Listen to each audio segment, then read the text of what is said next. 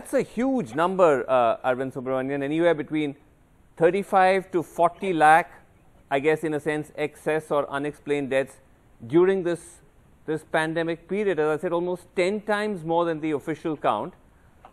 Explain those numbers to us and, and how you arrived at them. Uh, first of all, I think, uh, uh, we need to be very clear that, you know, we're probably not going to really ever have completely satisfactory answers to this question because it's in the nature of the beast that it's such a difficult thing to measure, especially since you know health information systems in India uh, are are you know still uh, uh, not uh, uh, you know as good as they ought to be. So that is why what we did in this study, it's very important to emphasize, is that we looked at it from three different data sources hmm. using different methodologies because no one source is going to be completely reliable, no one methodology is going to be accurate.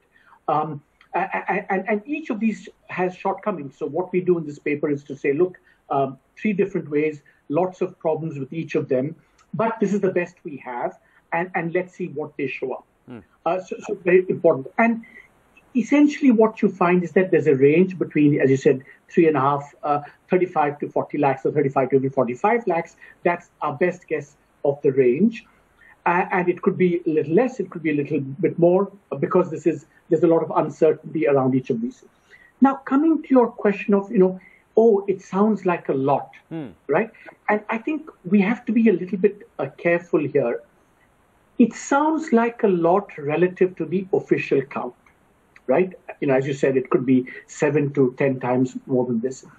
But I think uh, the other appropriate way of looking at it in terms of a comparison mm. is vis-a-vis other countries. I mean, if you have 1.38 billion, obviously you'll have you know more cases and more deaths. Sure. Uh, so that's not an appropriate benchmark.